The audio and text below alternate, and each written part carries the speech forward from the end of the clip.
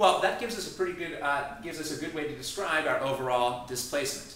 Um, you might just say that that's the answer. The answer is that we're 7.8 meters to the right of where we started and 8.6 meters above where we started.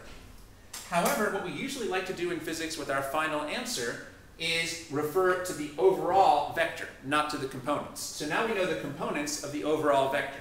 Um, the overall displacement vector here has a horizontal component of positive 7.8 and a vertical component of positive 8.6. This overall vector has a horizontal component of positive 7.8 and a vertical component of positive 8.6. That's a decent way to describe the overall vector, but we'd probably like to describe the overall vector directly. We'd like to know actually how long this overall vector is. So we need another skill. We need to know how to figure out the overall vector if you know the components. Well, that's one of the other skills that we've learned in this series of videos. We've learned how to find the overall vector if you know the components. So let's try to work that out.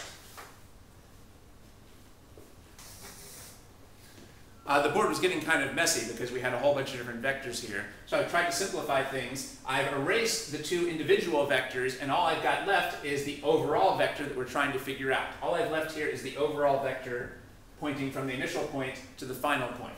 Remember, this is the vector we're trying to figure out. We've already figured out that the overall vector has a horizontal component of positive 7.8 meters to the right, and a vertical component of positive 8.6 meters, which means up. And now we'd actually like to find the actual magnitude of the overall vector.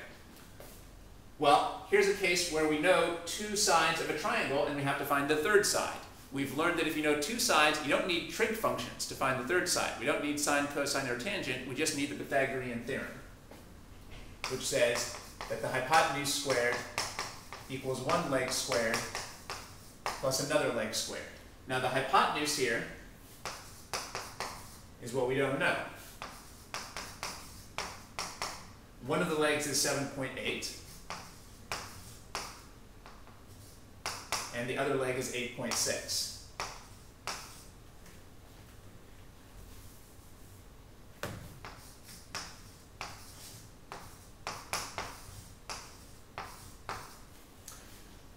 Now we're back in the world of geometry where all we care about is lengths and magnitudes. So I'm not going to be indicating the signs on these numbers. Well, we can uh, do one step on our calculator to find 7.8 squared plus 8.6 squared.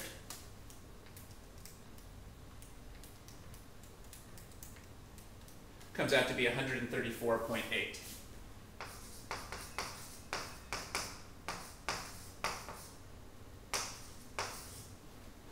Remember though, this is not the hypotenuse, it's the hypotenuse squared. A common mistake is that people forget that so far they've only found the hypotenuse squared. How can we get the hypotenuse term by itself? We have to remove the square function by doing the opposite. That means taking the square root.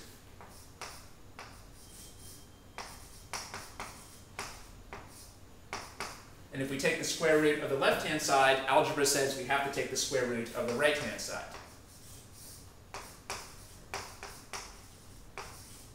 We're taking positive square roots because we want lengths, which are positive. Well, if you square something and then you take the square root, you just undo the square and you go back to the original variable, which is just the length of the hypotenuse. Now we need our calculator again to find the square root of 134.8. That's uh, 11.6 approximately. As usual, we're not going to be worrying about significant figures here. As usual, we're not going to be worrying about significant figures here. So the length of our hypotenuse is 11.6.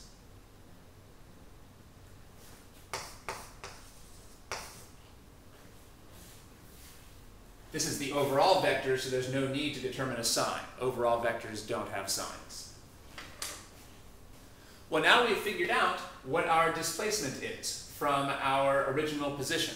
Um, we know that overall, we've gone 11.6 meters from where we started. Our final position is 11.6 meters from where we've started. We found the magnitude of the overall displacement, 11.6 meters from where we started. Notice that you can't just take the two individual magnitudes and add them. Uh, one of the individual uh, paths was 7 meters long, and then the next journey was, uh, the first leg of our journey was 5 meters long, and then the second leg was 7 meters long. Uh, but 5 plus 7 is 12, not 11.6. Since those two vectors were not parallel, we can't just add those numbers together. However, we broke them into components, and we could add the components together. And then once you know the components, you can use a little bit more trigonometry to go back to the overall vector, which is what we really care about. So notice our trick here. What we really care about is the length of the overall vector. Uh, but we can't find that directly because we can't add the individual overall vectors directly. So instead, we broke each vector into its horizontal and vertical components. It's very easy to add two horizontal components or two vertical components, and that gave us the horizontal and vertical components of the overall vector. And then we could use a little bit more trigonometry to go back from the components of the overall vector um, to the magnitude of the overall vector itself. We figured out now that uh, our final position is 11.6 meters, 11.6 meters from the initial position.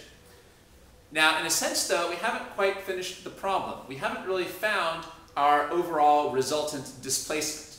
All we found is the magnitude of the displacement. We've just found the length of this arrow here. We know that we're 11.6 meters from where we started, um, but we haven't figured out the direction that we're in. Remember that our initial path was making an angle of 30 degrees, and um, our subsequent path was making an angle of 60 degrees. I've erased those two paths just to make uh, the picture a little bit simpler. But first we were going 30 degrees, and then we were going 60 degrees. Maybe I'll label that a little bit here. First we went 30 degrees for 5 meters.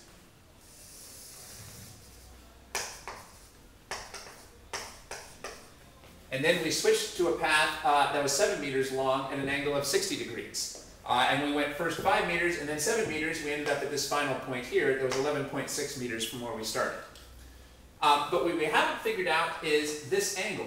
We haven't figured out what direction um, our overall displacement is from the initial position. You can see from looking at it that it's certainly going to be bigger than 30 degrees. We're not going to be just in a direction that's 30 degrees uh, above the horizontal anymore um, maybe you can see that it's probably going to be between 30 and 60. It's not really obvious how we can just combine this 30 number and the 60 number to find this angle here. There isn't really any way to directly combine the 30 and the 60, just like there's no way to directly combine the 5 and the 7.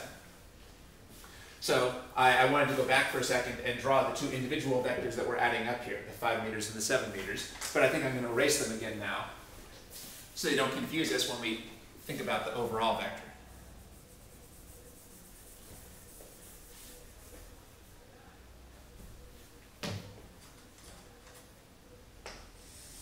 So again, we've decided that the magnitude of the overall displacement after our entire journey was 11.6 meters, but we still have to discuss what the direction of that overall displacement is. Well, how do we indicate the direction of an overall vector?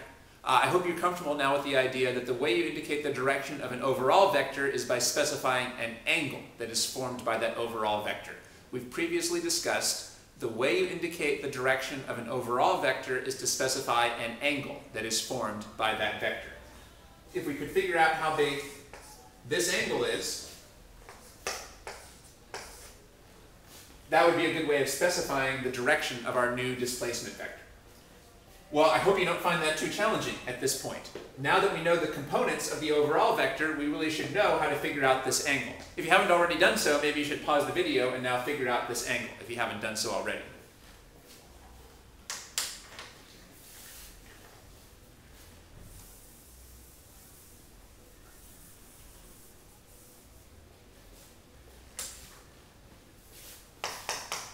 I'm going to put asterisks here to indicate that what we're trying to figure out is we're trying to use these two components to figure out this angle. We're, pro uh, we're probably not going to use the hypotenuse, because remember the hypotenuse was not one of our original numbers. Uh, what we had first was these two components, so it would be more conventional to figure out the angle using the components. It would be possible now to use the magnitude of the overall vector, the hypotenuse, but that's not the way this is usually done. Usually people use the components here. Uh, let's label that this is the, I'll put an asterisk here to show this is the angle we're focusing on. So this is the adjacent side for the overall vector, and this is the opposite side. So which trig function do we need? Well, we want to use these two components to figure out this angle. Um, so we need a trig function that refers to the adjacent and the opposite sides. We need a trig function that refers to the adjacent and the opposite sides. Well, to, uh, the tangent refers to the opposite and the adjacent sides. So let's use the tangent function. The tangent of the angle should be the opposite side over the adjacent side.